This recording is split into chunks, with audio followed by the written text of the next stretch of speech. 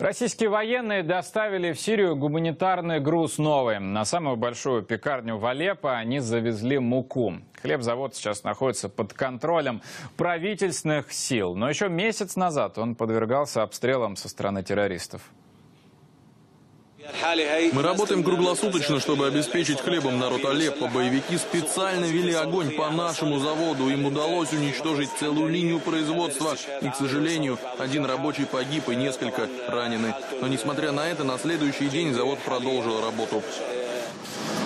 Рецепт традиционных сирийских лепешек не меняется веками. Мука, вода, соль и дрожжи. Все. После приготовления хлеб продают в городе и разводят по сирийским провинциям. Цена на него максимально низкая. В переводе на наши деньги всего лишь 6 рублей за лепешку.